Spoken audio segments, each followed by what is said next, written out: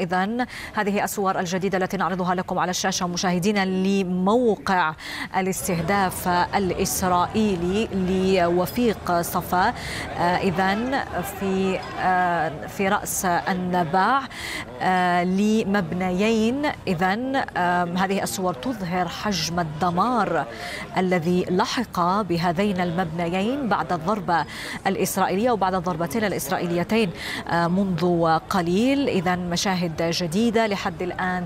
الحصيلة لا تزال مرشحة للارتفاع. الحز الأرقام الرسمية تتحدث عن 22 مدني قتلوا وأيضا أكثر من 100 جريح. يعني لحد اللحظة هذه الحصيلة الأولية في حين لم يتبين بعد مصير وفيق صفا مصادر لحزب الله تتحدث لوسائل إعلام غربية بأنه لم يكن متواجد متواجدا في المبنيين وبأنه نجا من هذه الضربة الإسرائيلية ولكن هذه الصور تظهر حجم الدمار الذي لحق بالمبنيين المأهولين بالمدنيين في وسط بيروت بعيدا عن الضاحية الجنوبية.